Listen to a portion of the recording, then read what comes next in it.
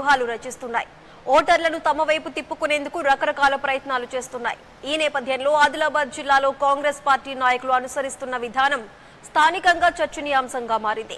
ఆదిలాబాద్ పట్టణంలో ఓ గోదాంలో దాచి ఉంచిన కుక్కర్లపై స్థానిక కాంగ్రెస్ నాయకులు కంది శ్రీనివాస్ రెడ్డి బొమ్మ ఉండటం పోలీసులు గుర్తించారు. రాబోయే ఎన్నికలకు ఇప్పటి నుండే ఆ పార్టీ కసరత్తులు ప్రారంభించినట్లు తెలుస్తోంది.